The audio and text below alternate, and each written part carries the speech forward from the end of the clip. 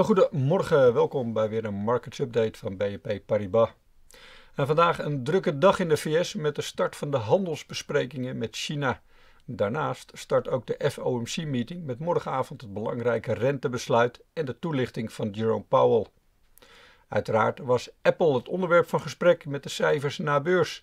Dankzij een eerdere winstwaarschuwing kwamen deze in lijn der verwachting door, maar de outlook laat nog wel een forse daling zien. 20% bij de iPhone verkopen, met name in China.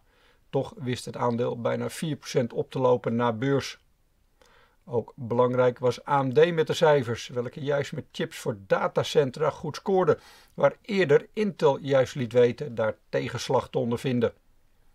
In Azië bleven de markten redelijk rustig liggen. In Korea moest LG een stapje terug, maar kon de index wel wat hoger sluiten. Bij ons geven de futures een onveranderde opening aan en komen langzaam nog wat bedrijfscijfers binnen. In Duitsland liet Wirecard, concurrent van Adyen, weten een omzet van 640 miljoen behaald te hebben over het vierde kwartaal, stijging van 40%. Voor heel 2019 verwacht men een EBITDA van 800 miljoen. En KPN zag de omzet zoals verwacht verder dalen. De aangepaste winst liep wel op met 10% naar 62 miljoen. Later vanmorgen meer details. De energiedivisie van Siemens blijft een zorgenkindje. Bij een iets hogere omzet daalde de winst met 6% en vooral de kosten bij reorganisaties bij die eerder genoemde energietak halveerden de netto winst. En bij KLM en Frans is het gevecht begonnen om de macht bij het Nederlandse onderdeel KLM.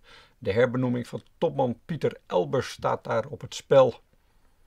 Analisten komen nog met koopadviezen op, onder andere Caterpillar, AXA, RWE en SAP. En ook vandaag is de agenda weer redelijk gevuld met allerlei cijfertjes. Morgen hebben we Koninklijke Olie en Unilever. En morgen is er ook weer een markets update van BNP Paribas.